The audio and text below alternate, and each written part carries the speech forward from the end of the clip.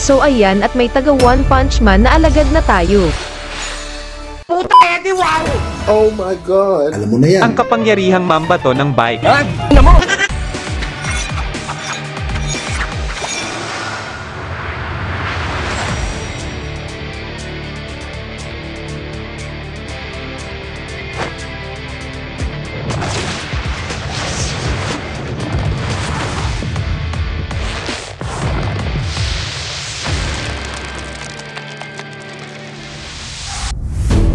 At ayan na nga at pinasok na nitong One Punch Man itong Summoners War Chronicles na MMORPG. What is that? Ay maling account. Ayan balik na tayo dito sa pinakamalakas na account natin so nakipagkalab si One Punch Man dito sa game at tapos ito sa may summon altar ang isa sa mga way kung paano makakuha ng One Punch Man na mga summons so swerte ang kailangan mo dito at ritual. Anong ritual, Mommy? Mekeni mekeni tuk tuk doremi. Stop it. So sa ritual na ginawa ni Mommy kanina ay wala po siyang nakuhang kahit isang taga One Punch Man na summon, hindi lang po nakuhaan ng video, pero may ibang mga paraan pa po para makakuha ng mga ito. Kung ikaw ay bagong player at gusto sumegway agad ng mga alagad ng taga One Punch Man ay pumunta lamang dito sa shop or new. So ayan, kung ikaw ay nakakaluwag naman sa buhay at isang mapagbigay na uri ng tao ay nararapat lamang na subukan iyan para makakuha ka talaga at hindi na kailangan ng sipag at swerte. Huwag po kayong matakot mga idol at kung gusto ninyo ng One Punch Man na mga alagad ay may iba pa din tayong paraan. Yes. Ay hindi ko napigil ang mapaluha. At ayan bakit mo kailangang idaan sa swerte sa ritual or sa salapi kung pwede mo naman itong idaan sa tamang sipag lamang. Basta mag-quest ka lang araw-araw or maglaro ka lang tapusin mo yung mga quest dito sa event na mga yan at tiyak makukuha mo ang One Punch Man Heroes upang maging iyong mga alagad so ipinasok natin yung quest dito bali sa may rapture siya at once a day lang siya mapapasok. So ang monster dito sa dungeon ay si Kabuto yung isa sa mga monster na nakalaban ni Saitama sa anime, so sana madagdagan pa yung mga dungeons at monsters sa future. So ito na po yung dungeon mga idol na tatapusin natin na makakalaban natin ay si Kabuto pero gameplay later na lang po sa video at diretso muna tayo pagtapos ng boss fight. Ayan po at may lalabas sa kaliwang gilid so kakausapin mo dito yung idol natin sa One Punch Man na si Saitama so kaunting usap-usap lang tapos bibigyan kanila ng parang ticket, tapos yan yung ipapang palit natin mga lodi para maging One Punch Man hero na magiging alagad natin. Basta ayan siya mga lodi, at madami pa silang mga quests at mga events dito mga idol at hinalimbawa lang namin itong isang dungeon sa inyo, so kung hindi ka swerteng tao at hindi nakakaluwag sa buhay at palaging masikip ang buhay na tulad namin ay pwede naman ninyong idaan lang ito sa buong pusong sipag at syaga.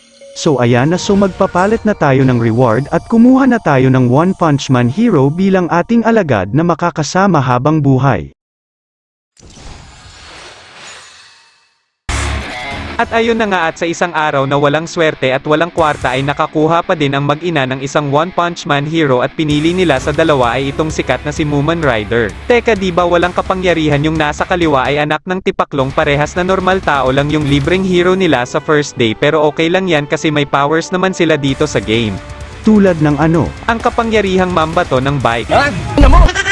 Ayan po maraming mga scrolls pa po ang makukuha ninyo through questing mga idol. So makakapag-open pa po ulit kayo ng mga summons dito sa mga hero ng One Punch Man. So sipag at syaga mga lodi at madami po yan. So kung bagong player ka hindi mo naman kailangan maghintay ng mga bagong servers kasi cross-server naman sila dito lalo na sa mga dungeons. So tiyaga lang talaga mga lodi.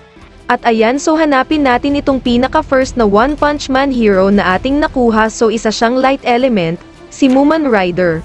Ang isa sa pinakamalakas na hero sa One Punch Man sa pamamagitan ng kanyang bike ay nagagawa niyang ibato ito ng napakalakas na nagiging dahilan ng agarang pagkabaliw ng matatamaan nito.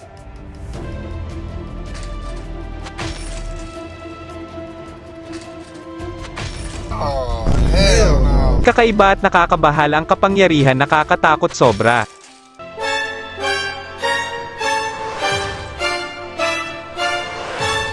Ay nako po ano ba yan naging super saya naman ito pero okay na din at least bumawi naman siya doon sa bike ang kapangyarihan so okay naman at ang cute yung ginawa nilang paglagay ng One Punch Man heroes dito sa game. So syempre kung bagong alagad yan ay magpapakahirap ka na naman ng sobra para palakasin ulit ng isa-isa yan.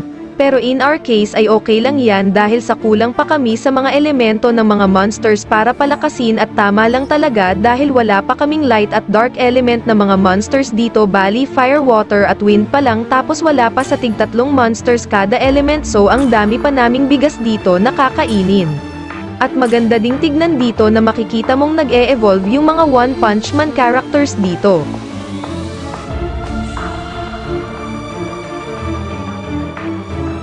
Ay oo nga medyo payat nga siyang tignan kanina. So gagawin muna nilang bata yung character tapos pag-evolve One Punch Man character na mula sa anime.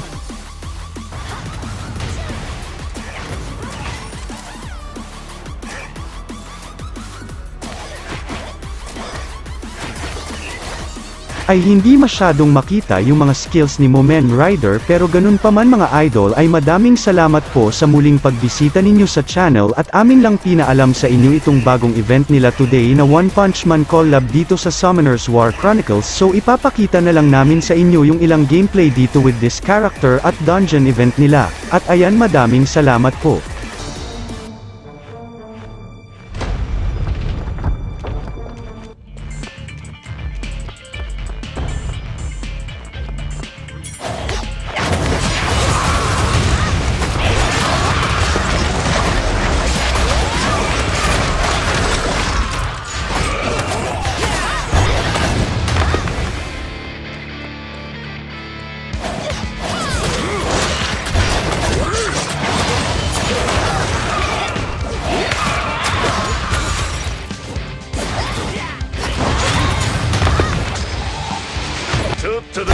的な全力でなうん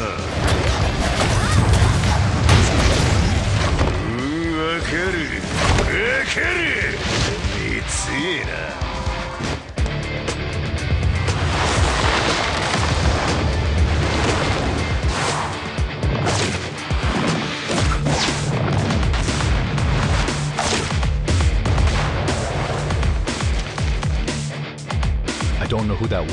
but we bought some time.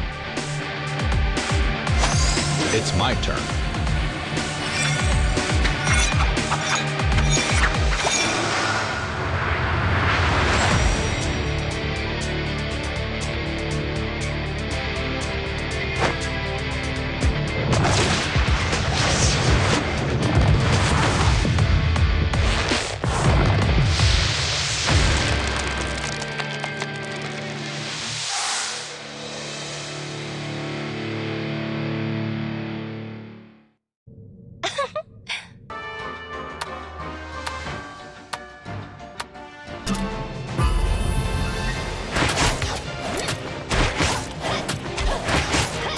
To use.